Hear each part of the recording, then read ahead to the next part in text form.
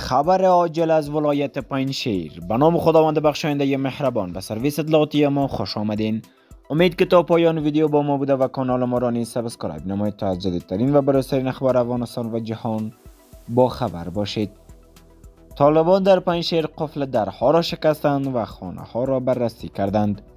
افغانستان اینترنشنال در صفحه رسمی فیسبوک خود می نویسد یک باشنده پنجشیر با فرستادن ویدیویی به افغانستان اینترنشنال گفت که طالبان روز پنجشنبه هشتم قوس بازرسی خانه ها را در روستای فراج آغاز کرده است با گفته او بیشتر خانه های مردم بازرسی می شود که بعد از ورود طالبان به پنجشیر خانه های خود را قافل زدند و از ولایت پنجشیر خارج شدند تا اکنون طالبان در مورد این ابراز نظر نکرده اند.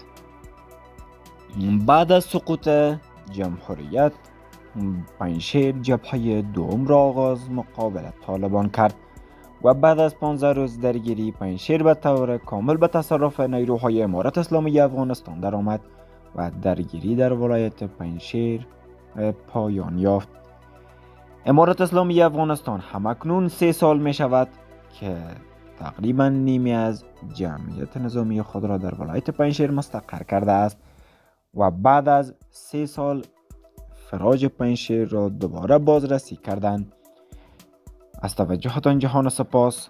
تا درود دیگر بدرود. منتظر نظریات و پیشنهادات سالم شما خواهیم بود.